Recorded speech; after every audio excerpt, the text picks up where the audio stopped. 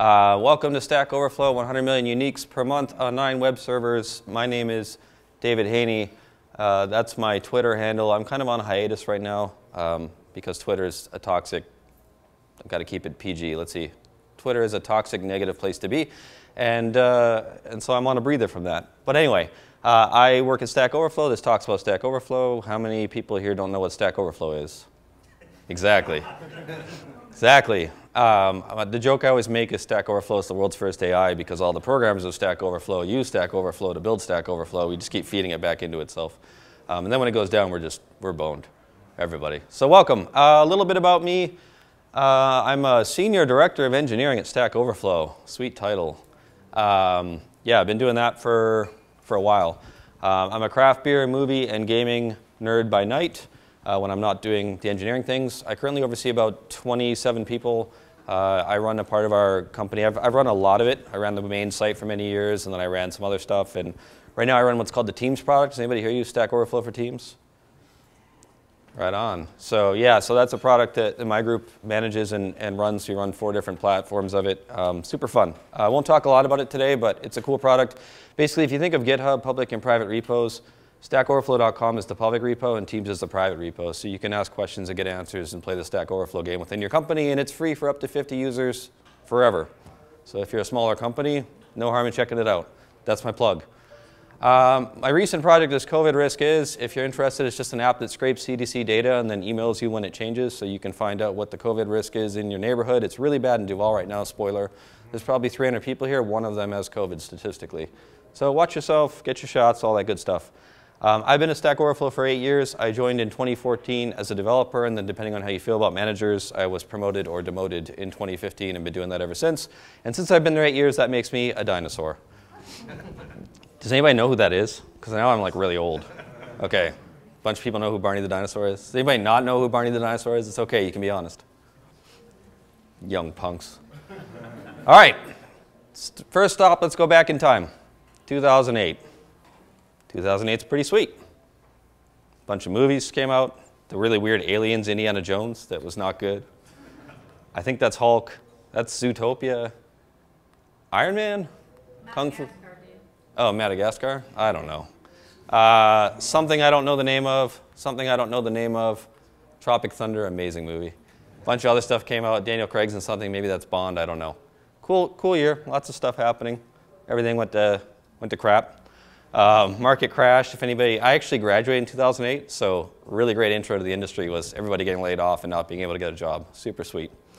Um, yeah, market crashed, but also a website appeared on the internet um, stackoverflow.com. And that's actually what it looked like in its infancy. And I can zoom in a little bit. Uh, pretty sweet design skills, right? Classic developer design skills, for sure. Um, and that's what the first version actually looked like as it came live. Uh, it launched, right? So the site went live in 2008. It was written in C Sharp 2.0 at the time, uh, .NET 2.0 specifically. Uh, Microsoft SQL, jQuery, and Subversion. Anybody use Subversion? It was, it was the cool thing until GitHub destroyed, well, Git destroyed it, and then GitHub destroyed everything. Um, everybody uses GitHub or Bitbucket, but mostly GitHub nowadays, which is uh, you know, a wrapper on the web over Git. Uh, why do we do that?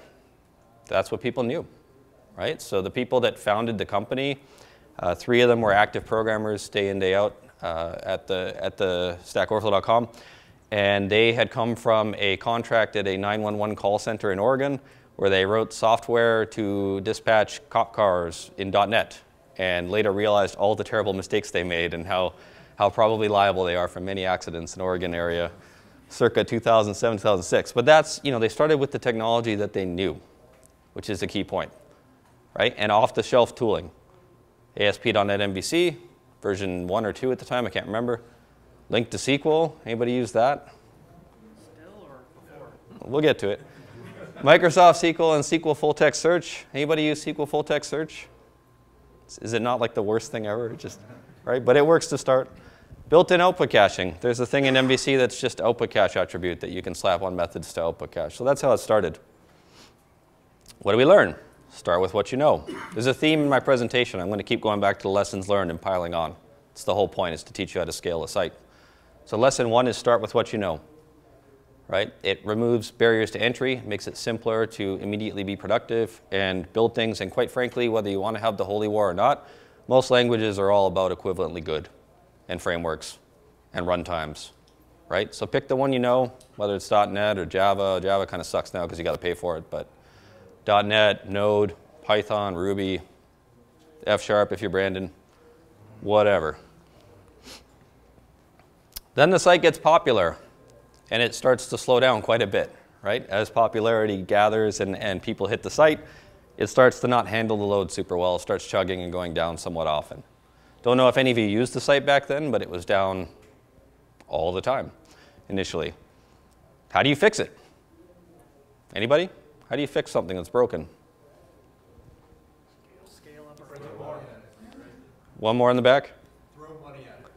Yeah, but if you don't have any money, You break it more first. well, you can break it more. You, you use tools, right? You use tools to fix things. So you need to measure your performance problems, right? But when we looked around at the time, we figured out that there were no profiling tools for .NET that were either affordable or good, or rather that were explicitly affordable and good. So we built one, right? Step one. This is called Mini Profilers. Anybody use this? Are you saying use it now or have used it? Because yes, I've used it. Yeah, I have used it or used it now, either way. Mini Profiler is a thing that was built by, by Stack Overflow back in 2011. It launched. Anything in gold, by the way, on this presentation is a link, so later you can click through and take a look. Um, this is a really pretty, let me center that a little better. It's a really pretty impressive tool.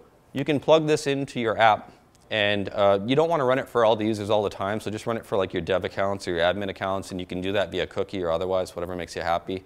Um, it'll tell you everything that's happening on your site by natively plugging into the profiling API of .NET, which still exists in .NET Core. This was actually, I did this on Friday. Friday night, I was, or Friday afternoon, I was finishing this up, and I took a took a couple screenshots. So I'm on our Web 04 server of Web 01 through Web 09, the nine web servers. It tells you, you know, the site I went to took 0.09 milliseconds to load the initial request, and then fetch took four milliseconds, and choose interesting posts took three, but on the SQL end it took 0.67, I think. And then get channels interesting posts, don't worry about that, but it's a thing that happens if you have a Teams account. It used to be called channels, and so a lot of the uh, infrastructure is, under the hood is called channels. Pro tip, don't name your code after the name of your app, because then when marketing changes the name of your app, your code doesn't change. So everything's still channels. Uh, anybody who uses Teams here, have you noticed the URL is slash C slash whatever? That C stands for channels, because it was originally called that. But this gives you insight, right? You can see exactly what's going on. You can see that Redis was 12% of it, SQL is 11% of it, HTTP is 46% of it. Um, you get a, a nice waterfall diagram of what's going on on the requests from the HTTP side on the client. You can see exactly how fast things are. Even cooler, you can drill way in. You can click through on any of these links here, and you can actually get this. This is rendered on the website live. You can get details of what's going on and how long it took, including a waterfall of timings. What's really interesting is you can get SQL, right? You can get SQL and see how long those requests are taking. And so now we're able to measure the performance, and if things aren't going well, you're going to see a bunch of stuff take way too long. And also, if it takes too long over here, it does alert with a red, red exclamation mark and, and various coloring to let you know that. So step one, measure things. Now you know what's slow.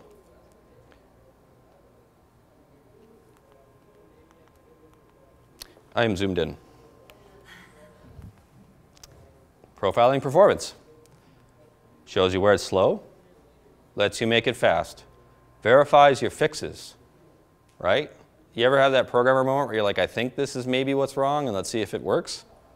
It's really not good enough, right? It's, it's, I mean, it can be a fix depending on the, the gravity of the thing you're fixing, but to take guesses like that, I mean, you're just playing Clue, right? You really need to see and gain insight and visibility into what's going wrong and fix the actual things that are happening and not take guesses at what's happening because most of your guesses and my guesses will be wrong. I'm not judging you when I say that. We are all bad at guessing. It's a human brain thing. So not only do you start with what you know, you measure your performance. Keyword here with existing tools. Don't go reinvent your own performance profiler. We only did it because we had to. And now it's out there. It exists today. It works for .NET Core. It works for not .NET Core. If you're running .NET Stack, feel free to use it. It's free. It's open source. What did it reveal to us? on our slow website. We wrote some slow methods for sure, right? Programmers are prone to write maybe not the most optimized code, but also sometimes to over-engineer things. Interestingly, the .NET framework had serious flaws at the time. Love you, Microsoft. No hard feelings. But there's a reason that we've gone from version 2.0 all the way up to C Sharp, I mean .NET 6 and on our way to 7. Right? Huge incremental improvements in the framework. It's never been in better shape. But back then, there were some serious problems in the actual guts of the thing. And we could see that through the profiler. How do you fix it? So we start fixing our own problems, our own slowness. Well, you realize that nothing is free. All created things in your code, pretty much no matter what language you use, or framework you use, or runtime you use, they cost something. They cost CPU to create, they cost memory to hold. And generally, memory is finite. It's cheap these days, but it's still finite. And also, what is created must be destroyed eventually. Calculations are expensive, right? Doing a reporting, a classic thing I think of is like report roll-ups, like give me the monthly stats on whatever. It's a ton of summing and averaging and aggregations. Those things are not free or cheap either. A GC is a garbage collector. Any managed uh, language, managed memory language, will have a garbage collector that is usually uh, generational, uh, meaning that it progressively tries to reclaim things you're no longer using through what's called a pinning system. They're tricky. And the further you go in generations, like the .NET one starts in Gen 0 and goes to Gen 3, and each step is about 10 times worse than the prior ones. So if you let things live long enough and they get reclaimed in Gen 2, it can actually freeze your entire application while it recollects everything and then resumes your application. So what is created must be destroyed, right? Laws of physics. Matter can only be converted, yada, yada. You have to pay attention to that if you're going for scale. So you need to employ some techniques like caching, optimization, and object pooling to fix these problems, and that's what we did. So caching, or the fancy programming term memoization, which nobody ever uses, is the idea of storing the output of a method after you run it once, or almost once, depending on your race conditions, to then return immediately in future requests. So the typical pattern to this is when you call into a method, you go, do I have the answer? Return it. If not, do the work, store it, then return it. And that way the next person goes, hey, I need that thing. You go, oh, it's right here, boom, it's done, no more work. Right? Think monthly reports. You ran the monthly report. When they reload the page, are you running it again? Did anything change? Like, especially if it's in the past. If I'm running a report on May, it probably didn't change in the six seconds of July that I spent reloading the page, right? So store it, store the output. And then the next time that somebody reads the report, it's instant. And they go, wow, you're a really good developer. This app's so fast. And you're like, great, give me more money. Right? Super powerful. What it does is it trades CPU time and or external services, databases, webhooks, yada, yada, for memory. You're putting the output in memory. Again, memory is not free, but you have to make these heuristical trade-offs intelligently. What are the things that are worth keeping in memory? What are the things that are worth not keeping in memory and just doing over and over? I can't answer that. That's a question that's very specific to your application architecture and your goals. You can cache locally or remotely. Start locally because when you get to remotely, you end up doing some serialization and deserialization, and that's expensive too, and it goes over the wire, and now you're paying for bandwidth and so on and so forth. So really like as programmers, I think you'd all secretly admit to yourselves late at night when you're being introspective and honest with yourself that we all over-engineer a lot of things, right? Like we start to build an app and we're like, well, in the future, when I'm the next Mark Zuckerberg, it's going to need to do this. So I'm going to tack on like distributed caching and Elastic. It's like you don't, we don't actually need these things. So try to really rein yourself in and not over-engineer the thing and just worry about getting version one out the door and seeing if anybody even cares. Because I can't tell you, I mean, I can't speak for anybody else, but I've spent so many years of my life trying to build something interesting for people to use, and then I over-engineer it for a year, I release it, and I expect fireworks, and I get silence.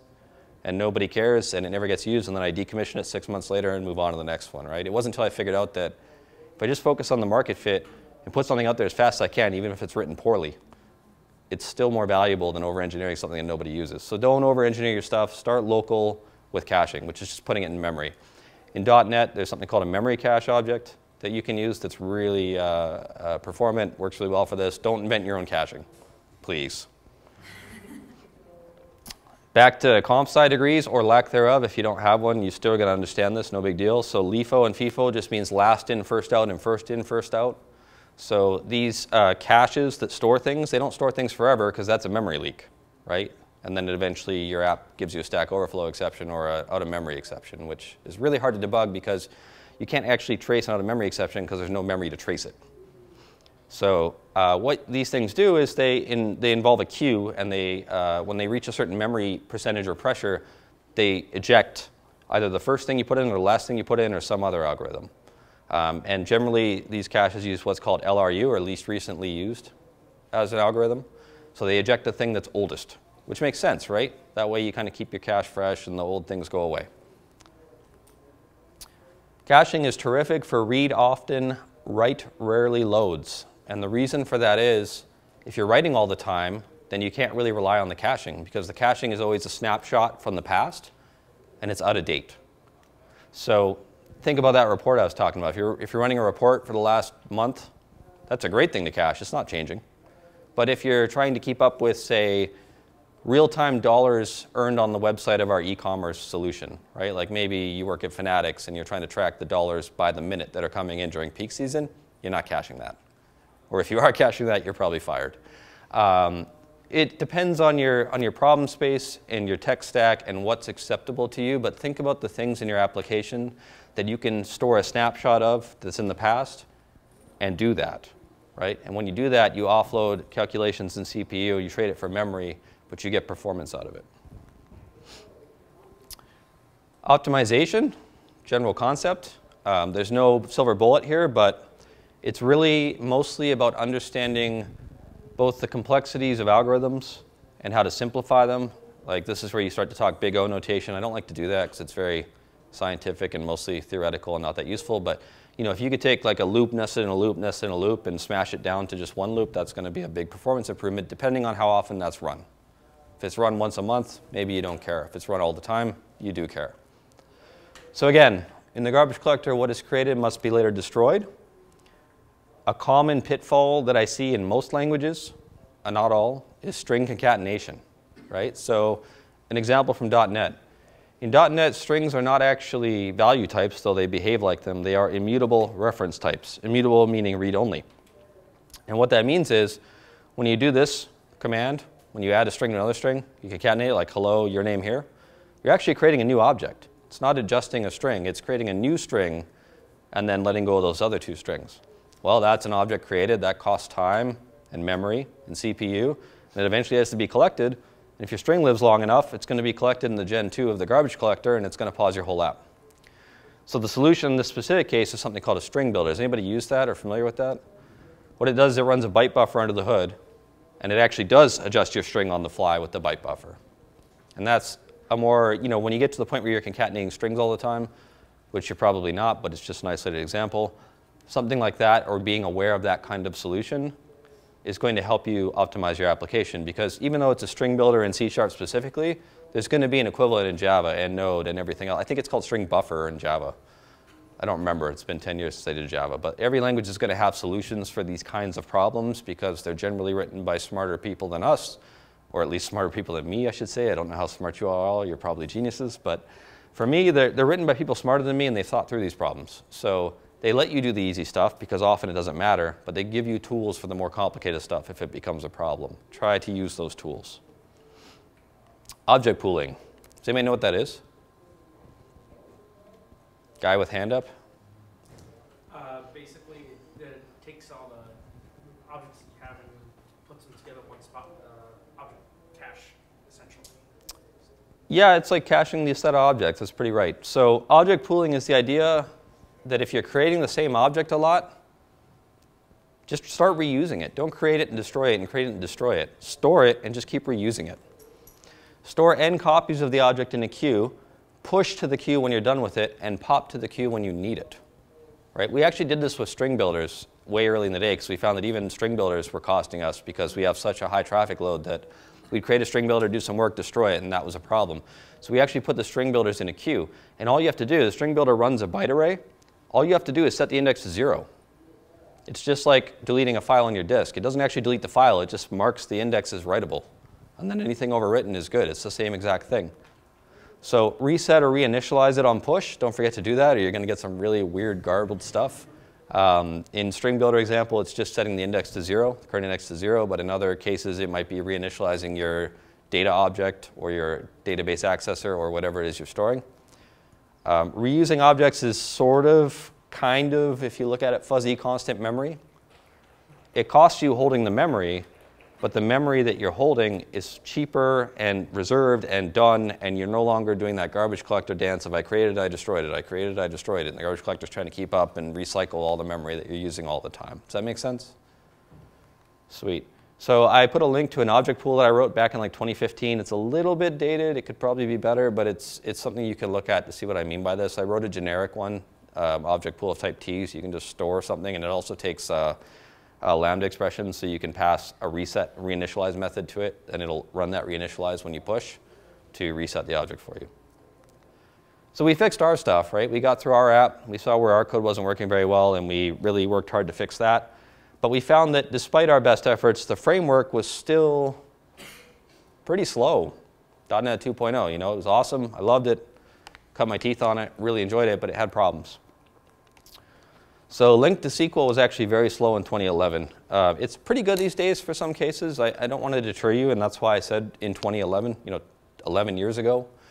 Um, but it was pretty bad back then. It had a lot of inefficiencies. It did a lot of object creation, and, and then the garbage collector got a lot of pressure, and so on and so forth. Entity Framework 4, which was what was out at the time, was also slow. It's also really good these days. Actually, recent benchmarks, it's pretty much on par with, with most popular ORMs, so there's nothing wrong with using it at this point. But again, 11 years ago, it was slow. But we still needed to access the database, and we weren't going to write all that mapping code. Has anybody here written and used like SQL data reader code themselves under the hood where it's like you get back your set of fields and you have to look them up by name and cast them to object types and what happens if they don't cast correctly and then you have to put them into an object and what if you change the database? It's, it's ugly. And you don't really want to spend your time writing this code. It's going to take you years. It's a bad use of your time and the company's money. So we need to use a better .NET ORM. But we look around and one doesn't exist yet. So what do we do? We write one. right? So this was originally called SAM's ORM, named after Sam Saffron, one of the smartest people I've ever had the pleasure of meeting and knowing and working with. Um, absolute genius. Uh, he decides that he's going to take on building an ORM because what we have isn't working and we don't want to manually do it. This is what it looks like even today you can say var cars is con.query of type car, select whatever from cars to list, and you get an, a, a list of objects that are populated with the data from your table. It's that simple. And this is way back in the day, circa 2011 from Sam's blog, a benchmarking he did of the various ORMs at the time. If he hand coded it, it was 164 milliseconds. LINQ to SQL was 335 seconds, milliseconds, pardon me, of which 207 were compiling primitives and other uh, metadata around it. Executing was 242 milliseconds on top of that. SAM's ORM, soon to be Dapper, was 174 total. Entity Framework was half a second, three times slower.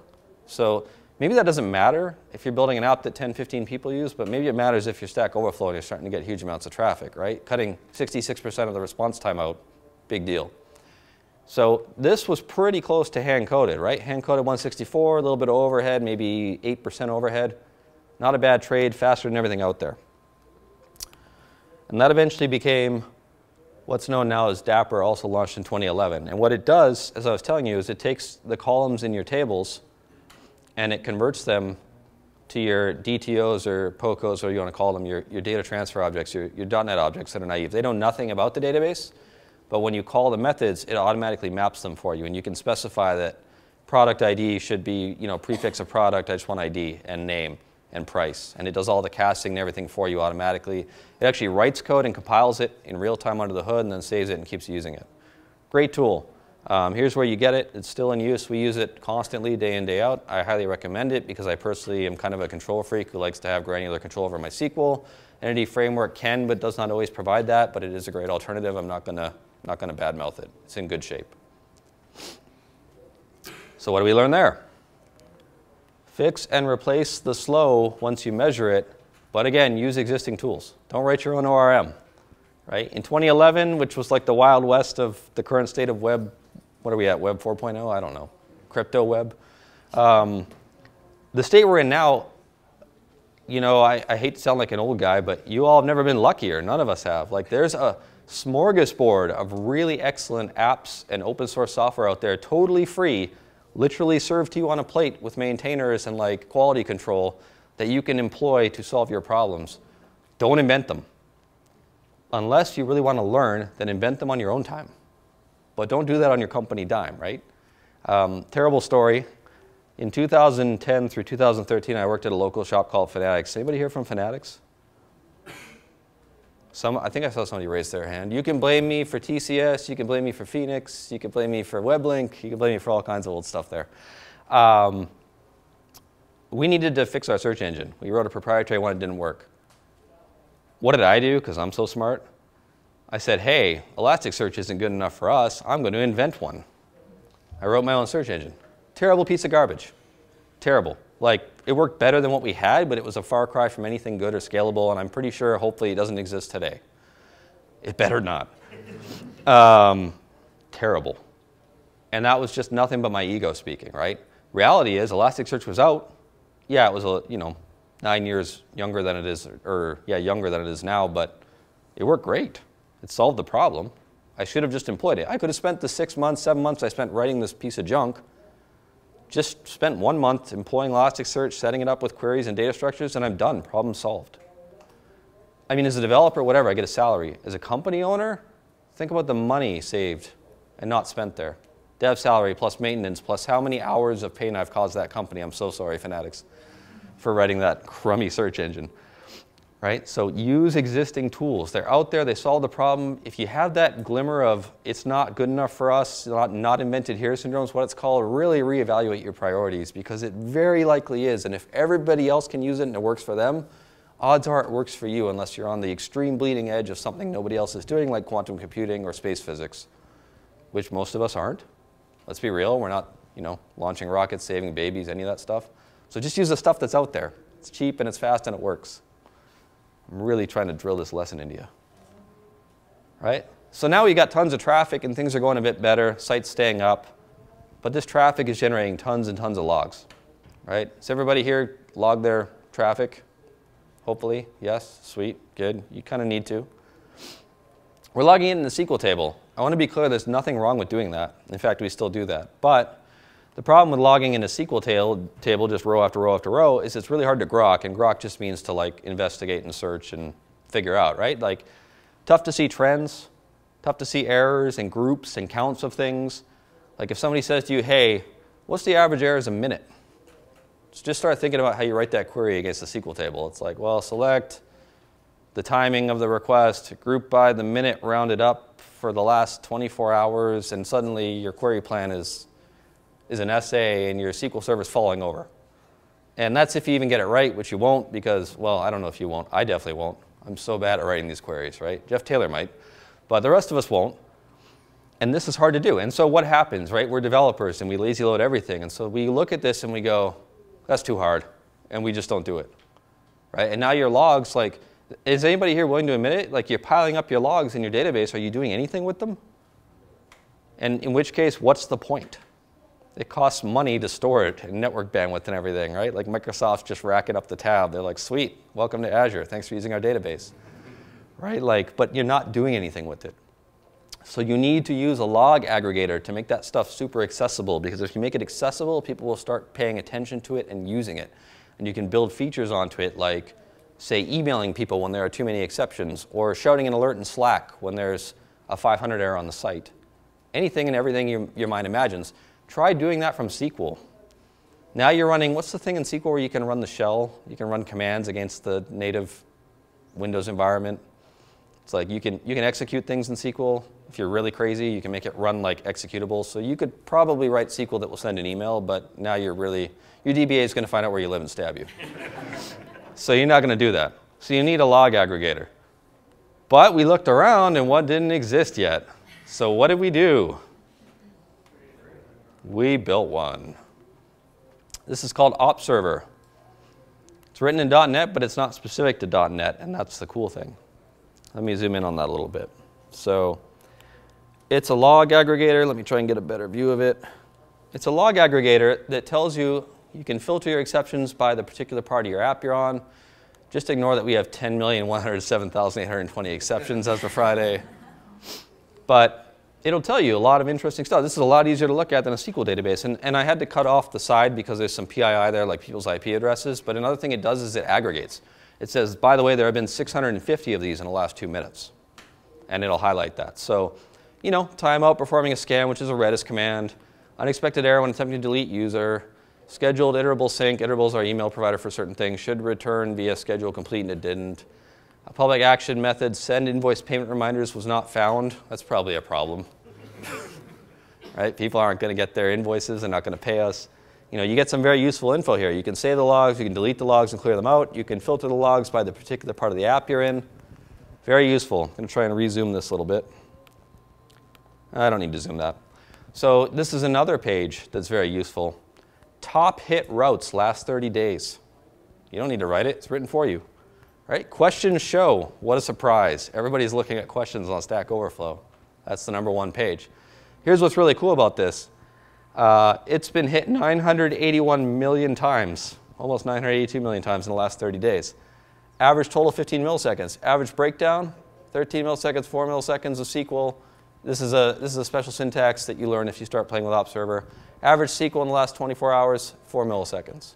Right? User shows the next popular, and you can also see performance over time. You can see where it got weird. You can go investigate it. You can actually highlight that in the app and say, okay, what day and time is this? Go compare it to SQL, et cetera. Super useful tooling. I hope that that's pretty obvious in seeing this compared to a flat file of logs. Even better, top SQL queries on your SQL server by average CPU per minute. What's up? What is this looking against? Like, what, what's the underlying log structure? Uh, it uses something called stackexchange.exceptional to store your logs in database in a particular format. So it's proprietary, but it's yours to play with as open source as well. You figure the logs on pretty much anything. Oh yeah, absolutely. You don't need to store your logs in SQL particularly. You just need to store them in a certain format so it can aggregate off of them. But, so take a look at this. Top queries on the SQL server per minute, right? This is microseconds, which I don't want to do any math. It's, what is it, Tuesday morning? I don't know. I haven't had enough coffee. But it runs a lot. This, this particular select count star query is number one. It's run for a total of four days and 16 hours in the last minute. Think about that, right? So you need to look at that and go, that's my hot path. I need to tune the ever living heck out of that and make sure it works right and it's efficient. And even better, if I can, in this case I can't, but if I can, cache it. And then it's not going to the database.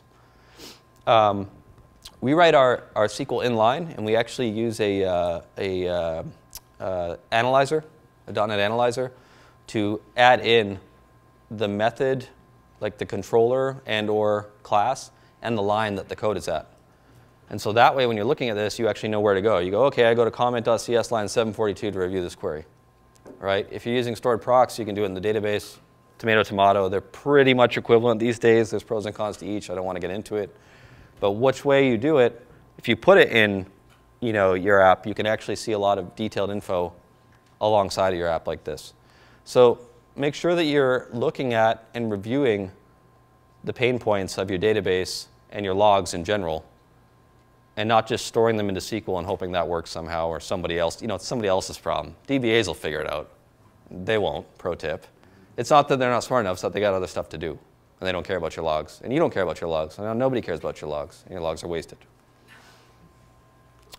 Lesson four, logs are a gold mine, but only if you mine them. Right? It's very rare that you get to actually actively see in real time what your users are doing. You're going to have to rely on logging. And if you look at it, you can get a lot of good insight and details, not just performance related, but actually even marketing or sales related sometimes, patterns. But if you just let them sit there and rot, they're useless. Yeah. Do you log mini profiler and look at that? Is that what that's based off? Or Uh, no, Mini Profiler is different. It runs real time in the application without. log that then as well? No, we don't log the database. Uh, well, we, we log similar stats through this, but not from Mini Profiler. Mini Profiler doesn't back itself on a database at all. We got 26 minutes left, and I'm on slide 2742. That's pretty good. Here's the thing your app, unless it's very static, which it never is, because if it is, they don't hire you to work on it, your app has a database. Anybody here's app not have some kind of database? Right. If you look around awkwardly, nobody put their hand up. Every app has a database. Every database is slow. I don't care what you use. SQL, NoSQL, Mongo, flat file, CSV, Excel. What's that terrible Access, Microsoft Access? They're all slow by their nature. They're not in your application's memory, so there's serialization. There's network latency. Weirdly, the thing that we come up against as the worst offender for our performance for our database is the speed of light. I know that sounds insane, but it's true. You can't actually improve upon it. It is a hard limit in this possibly simulated world. It's a constant. So your database is always slow. 90% of the time that your app falls over, guess what? It's the database. It's the query that isn't actually covered by an index or whatever and runs poorly, and then it starts to back itself up, and then somebody says, hey, let's set MAXDOP to 1 to fix it, and then it really falls over. If you don't know what MAXDOP is, delete that from your mind, never think of it again. Basically tells SQL to use one core instead of all the cores to single thread everything back to back to avoid blocks. But of course, think about the implications of sending a queue of one thing at a time. So you need to tune your database not just once and call it good, constantly. You need to probably hire somebody to monitor the bloody thing whose only job, who is literally Jeff Taylor, whose only job is to stare at it, figure out what's not working, and tune it, and then stare at what's still not working and tune it. Because as you remove the slow, the next thing in line becomes the slow. And there's an endless amount of things to fix. On top of that, most apps are being constantly built, right? You all are probably employed, not unlike myself, to add features and bolt things onto an app, which means new queries and new tables and new columns and new problems for that person to fix. In a smaller startup, maybe you're the one-stop shop person who does the code and the SQL. That's fine. That's how we started too. We didn't have any DBAs till 2016, and now we have like six of them because we realized how crazy it was to rely on devs being DBA experts and that you know, people who are specialized to the job are generally pretty darn good at it. Use indexes and covered queries. I have a whole talk on this that I'm not going to give you, but um, it pays to know your SQL or at least hire somebody who does. Right? Indexes are very powerful. Covered queries are the concept that all the columns you're selecting are covered by an index, which massively improves the performance of your application. Generally, SQL will fall into one of two things, either a seek or a scan. Right? One of them is looking up directly via index where something is, and the other one is literally like picking up an encyclopedia and going page by page, reading everything until you find what you want. And the problem with that is immediately obvious. The more data you have, the more users you have, the longer that takes. It is the definition of the n plus 1 problem. And then it gets worse and worse and worse, and it falls over. And then when it falls over doing that, it actually breaks itself because the next person trying to do that same query waits for that, and then that makes it worse, and that makes it worse, and the whole thing snowballs out of control, and your app falls over. And somebody says, What's going on? And you're like, No idea. It's your database. Is anybody willing to admit that they have an app that runs with no lock on every query? It's not good. Generally means it's not set up right. I'm not going to judge it because there are cases where it's useful.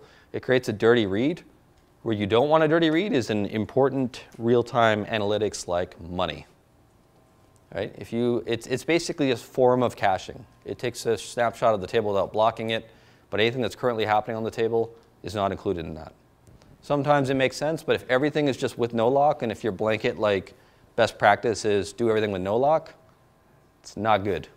Right? I'm not here to judge anybody, but that's something to reevaluate the structure of and purpose of your database. To that end, Try a read-only replica. We run SQL in tandem. We have active read-write and passive availability group read-only. And we do all the queries off the read-only. And that immediately reduces blocks to none. Because when everything's just read-only, how do you block? You can read simultaneously. It doesn't hurt anything. You're not mutating state, right? This is the power of immutable code, immutable methods. They're automatically thread safe. And so if you have an immutable database, it's always thread safe. However, a tiny bit behind reality, right? Is, is the right one then, doesn't need indexes? Oh, it needs indexes. It definitely needs indexes, but it needs indexes for a lot of reasons, including to put things in the right place quickly. Um, and every time you do an insert, the more indexes you have that are touched by the insert, the more you need to rebake the indexes and stuff gets crazy. But it's, it's a whole talk. I don't want to dive into it. It's just it pays to know SQL and you can employ strategies like a read-only replica to get rid of all your with no lock stuff. So we literally have uh, a variable for our write database and a variable for our read database. And so we read data from the read database and we write to the write database, which propagates to the read database in the availability, availability group under the hood, we don't have to worry about it. Suddenly we don't have a lot of locks and blocks.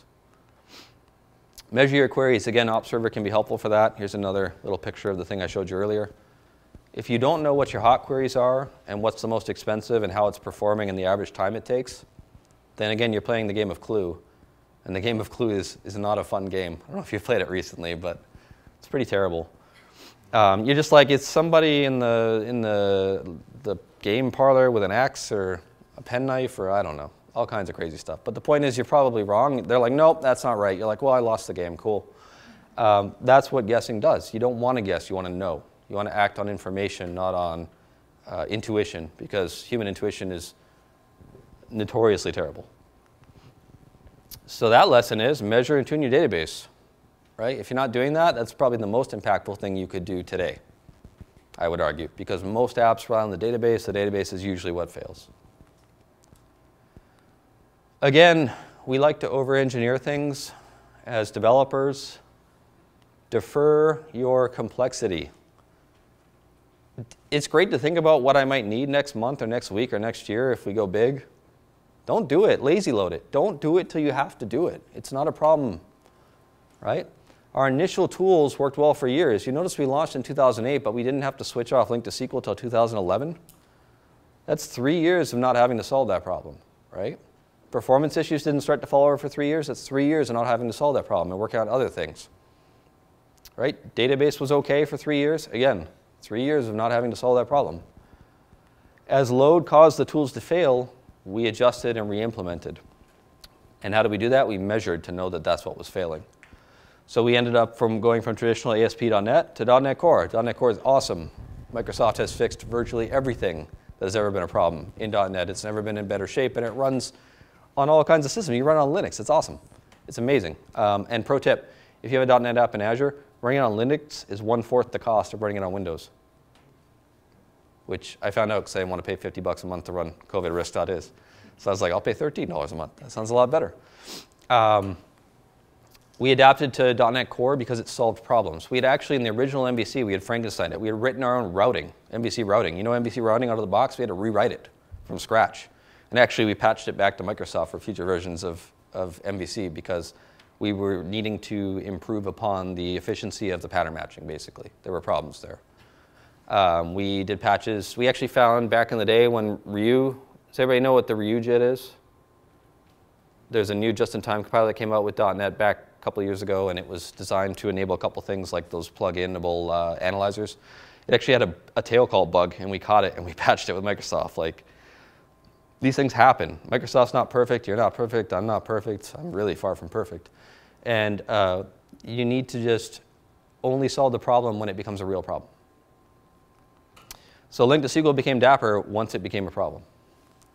SQL full text search became a problem eventually because by its nature it's really hard to cover it in a query and so it just it tends to fall over pretty fast. There's nothing wrong with using it initially, but we eventually went to Elasticsearch, right? And the thing about Elasticsearch is it runs on Java and the thing about Java is it runs way better on Linux than it does on Windows. So we actually run our Elasticsearch servers on Linux, even though a Windows shop, because it's the most performant, better, more memory efficient way to do it. And it's not that hard to maintain. Built-in output caching eventually became a Redis implementation. So Redis is a, if you're not familiar, it's a, it's not even a distributed cache, it's just a memory store that you host outside of your app. And so the problem with caching locally eventually is if you have nine web servers, you're caching nine times the stuff. Each server has to locally cache its own copy. And that tends to scale poorly after a while, but it's great for many years perhaps. At that point, you go to a singular cache point so that everything benefits, all the servers benefit from any server's performance and caching work. However, you're now trading costs again. You're saving memory and performance, but now you're going over the wire with serialization and deserialization. So nothing is free. These are all just heuristical trade-offs you have to make based on your specific application and the problems you're trying to solve. So what do we learn? Solve actual problems, not future ones. And again, I'm not judging you. So many times I have over-engineered my apps. I built a freaking search engine I didn't need to build, right? I didn't solve the actual problem, which was just make search better. I could have just used Elasticsearch and be done, right? Um, great example. Does anybody here, not unlike myself, get into the habit of just writing an interface for every class? Because you're like, yeah, it's native DI, I should have an interface. I mean, how often do you actually use that interface? How often do you ever put a second class in that implements that interface? Basically, never. Maybe you have a payment interface and you switch from one provider to another, and so you do that. Or maybe a search interface, right? That's a great example. You have a search interface, the implementation is SQL full text, you switch it to Elasticsearch, it still works. But in general, you're building a bunch of interfaces that just sit there and do nothing. And you argue, well, yeah, testability, yada, yada, yada. Well, you're right, but the thing is, I can actually mock a class just as easily as I can mock an interface. So you don't need interfaces for everything. Try to build interfaces around the edges of your app, and the edges are where you start to talk to other apps, because those are the implementations that are going to change. So these kinds of premature optimizations, they seem innocuous, but if you realize that you're building 100 interfaces for 100 classes, maybe that costs you eight hours. Think about your salary, think about eight hours of it. It's not free. And as a developer, whatever, I'm getting paid. But as a company owner, that's money spent on stuff that isn't used. Of course, if you work for a place that comes down on you for writing interfaces, then maybe it's not a great place. But, but my point is, try to solve real things as they come up. Be, be the lazy developer at heart that we all are, and don't, don't kick the can down the road till you have to fix it and then fix it. Don't just fix it now. So fast forward out of 2011 over to 2014 what's happening with Stack Overflow. We are the 54th most visited website in the world at this time. This is no longer true, but it was true back then. 110 network sites, and we started to use the same code base to run multiple network sites. We have lots of sites, like we have a, a homeowners one, like a DIY one. We have a math one that's really popular. We have one that's on world building, which we all thought was going to flop, and it's the coolest thing ever. It's like a bunch of authors who are like, in the world of dragons, if I had a dragon that breathed this kind of fire, what temperature would it have to be to melt this person's sword? And it's like, it's the cool, like if you ever get bored, just go look up the World Building Stack Exchange and just start reading. It is amazing stuff. It's like, it's one of the most popular sites now, and we all thought it was going to flop, which is, again, our intuitions are bad. Oh, and the way we do this is based on the domain you come in on, we then serve you the particular database of branding, right? So the one app serves multiple sites, multiple, multifaceted, multi-tenant. 4 million users at the time, 8 million questions, 40 million answers, 560 million page views a month, which is quite a few. Almost 20 million a day. Just 25 servers total. Right? Anybody here running more than 25 servers? You can admit it. Pro probably almost everybody's running more than 25 servers. And so here's the thing. If your code is measured and fixed and things are performing really well and your performance is tuned up and your database is good, you need less hardware. And hardware for you and me is cheap. Hardware for servers is expensive. You don't want to know what a Dell blade costs. You don't want to know. Okay? 80,000 and up per server. Right? Again, not your paycheck, great, but you run a company, it's a big expense. You need nine servers, that's almost three quarters of a million dollars. Minimum, plus service contracts, plus, plus, plus. Plus, you got to go host it in a data center or in the cloud. And if you're in the cloud, they're going to literally run a meter by the second. And if you're in a data center, you're going to have to pay people to go and maintain that stuff. And what happens when a drive fails? And who's your CDN? And who's your network provider? And how do you get all that stuff going? And bandwidth isn't cheap. Performance saves you a ton of money. It's a cost saving feature as well as just a feature for your app. It's well known that in, in the various major search engines, really just Google and Bing, that run the internet, one of the heuristics they use to rate your site is how fast it is. Slower sites get deranked.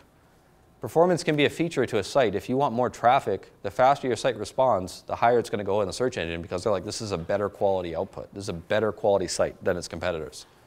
And that could be a strategic advantage. More importantly, cost saving.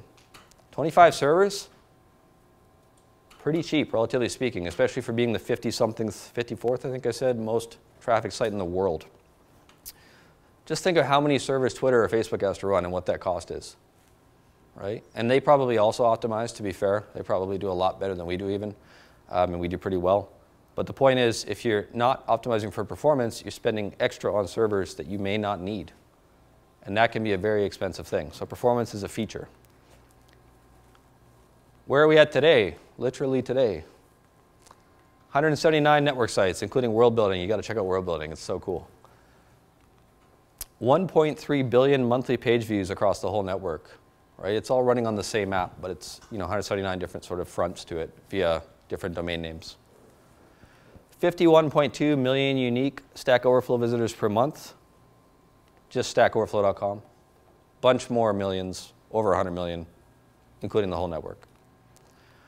22.8 million questions and 33.7 million answers. I don't know how I went from 40 million to 33.7 million answers. I must have got that heuristic wrong because there's no way we lost answers. So I apologize. It's probably closer to 70 million. I think I fat fingered that. Still just the 25 web servers today. Eight years of scale for free, relatively free. You got your photo? So make sure you get sweet. So here's how it looks. This is the breakdown. Nine web servers plus two. These two are sort of corollary servers for things like builds and CI/CD. We don't really use them to serve traffic at all. Um, nine web servers. Each of them handles 300 requests a sec with a peak of 450. They have 64 gigs of RAM.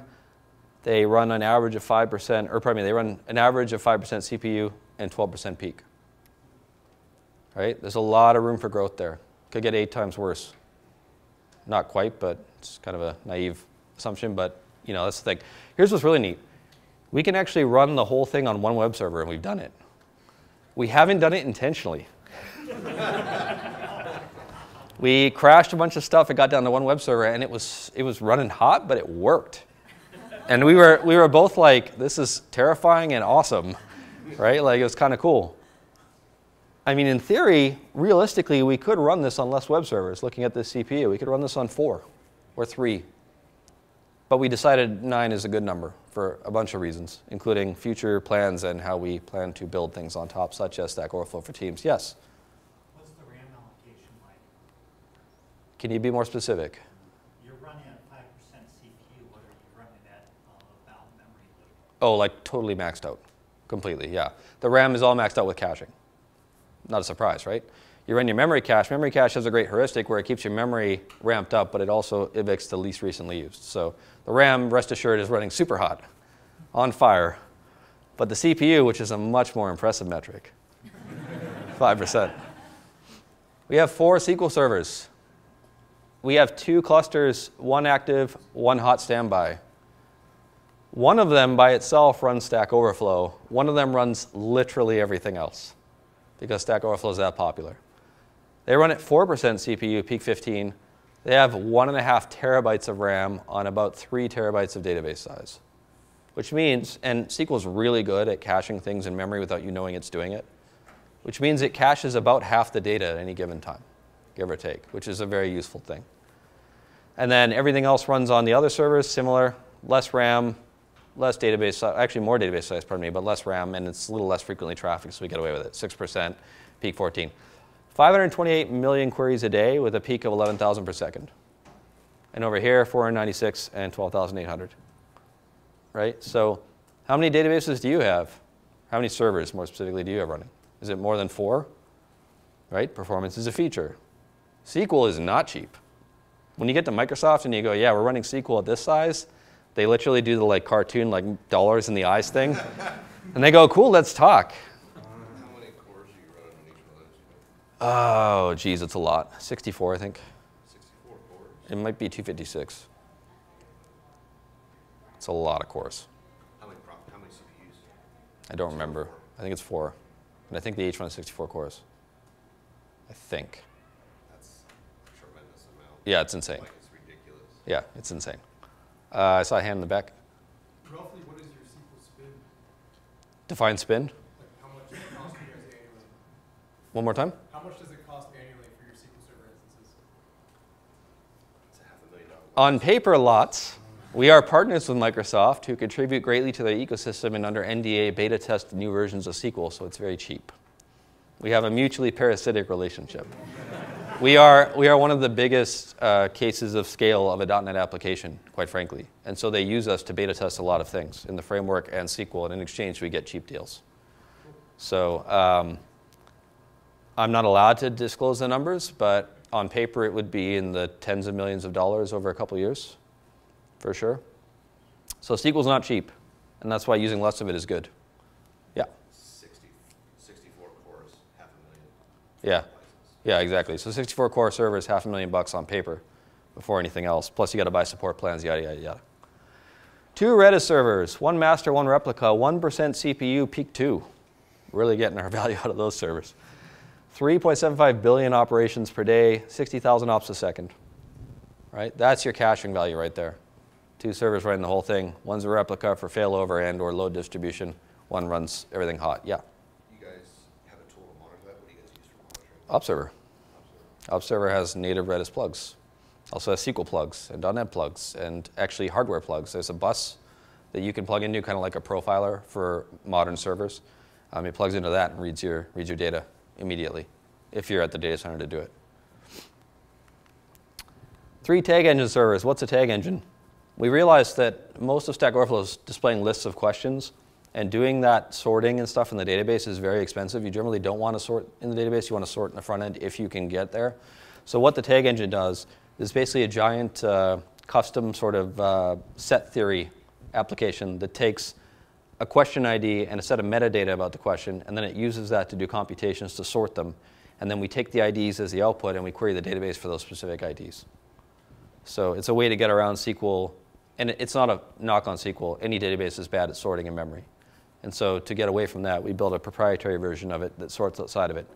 Uh, 64 gigs of RAM, it does about 60 requests a second, um, 3% CPU, peak 5. And why does it only do 60 requests a second? Because we cache the heck out of the output, right? On our site, 91% of all traffic is, is anonymous users. Who here has an account? I'm guessing that's actually pretty darn good. Most of the time, it's about 1 in 10 people, which means 9 out of 10 can share a cached read only anonymous user view. Try to figure out what your not unique views are and cache them. Three Elasticsearch servers. Hey, I didn't reinvent a, you know, a search engine. Good for me. Uh, 196 gigs of RAM. They're load balanced. Elasticsearch is really good at load balancing. Fun story when we first started using Elasticsearch, we didn't realize that you have to kind of tell it not to try and join other clusters. And so everybody's Elasticsearches joined everybody else's Elasticsearches in the subnet. And then we had a giant mega Elasticsearch cluster of way too much stuff, including dev stuff, and it was terrible. So understand your tools, but once you get them right, um, 7% CPU, peak 20, 34 million searches a day, and the index is about half a terabyte at this point for all the sites. Two HA proxy servers. Anybody know what HA proxy is? It's a load balancer. That's all it is. Um, it's a programmable one that does drain and a bunch of other stuff. Drain is where you can uh, tell uh, it to pull a particular server out of rotation after the traffic leaves it. It's really useful for doing things like rolling deployments. Um, one live, one failover, 5.5 billion requests per month, 4,500 a second, 10% CPU, peak, I think that says 18. I can look right here, 18. And then we have WebSockets supported there too, 600,000 concurrent. Um, what do we use WebSockets for? When you upvote in real time, other people see the upvote or downvote, that kind of thing, or comments getting added. Those are all WebSocket push notifications. So, in total, right on time, what do we learn? Start with what you know. A buddy of mine, coworker, Jason Punyon, really smart guy, he tried to build a new app back in like 2013, and he decided he would do it on Cassandra DB without understanding Cassandra DB. And the whole thing was a total failure. Not, not really his fault, but sort of his fault. And he blogged about it because we're, you know, we're a culture of learning. So he blogged, here's why this was a terrible idea and all the mistakes I made, and I should have just used SQL because that's what I knew. So I'm not saying use SQL or .NET. I'm saying use what you know and what you are mostly an expert on or most expert on because that's going to be half the battle right there. How do you profile something if you don't even know how to plug into the profiler? Right? If you have this kind of knowledge or, or intuition about, about a framework or a tech stack, use it, right? You want to be the, the mean stack? Great. It's just as good as .NET. In some ways better, in some ways worse. Use the thing you know. Measure performance, but use existing tools. I don't need to harp on that. Don't reinvent things. Fix and replace the slow things, again, with existing tools. Don't reinvent your own unless you absolutely have to. Logs are a gold mine, but only if you mine them. If you don't mine them, they are rotting and costing you money, and they are worthless. So get on it, or get or stop stop logging them. Just be honest with yourself. Measure and tune your database because it is probably what's failing more often than not in your application most of the time. Solve actual problems instead of future ones. That's the biggest one probably. Don't over-engineer things. Lazy load the problems till you get there, and then solve them. And performance is a cost-saving feature right? It can help you with search engine ranks. It can also uh, save you a lot of money if you don't need as many servers as, as you might when you have code that's not measured and tuned appropriately. Um, if anybody wants a photo, let me know. I'll hold this up for a second. Cool. That sounds fun. This is my last plug. Come work with us. S.tk, sweet domain, right? Slash jobs. Uh, we are hiring like mad, right? I know it's kind of a recession economy with a lot of tech bubble bursting. Um, we planned for that for once. We had a bad time in 2017 with some layoffs, quite honestly, because we didn't plan for it. We learned from that. And we're in really good shape right now, and we are hiring like crazy. I think I have 21 dev. So, you know, if this sounds fun and I don't seem like a jerk boss, give me a call. That's the whole thing. Thank you so much.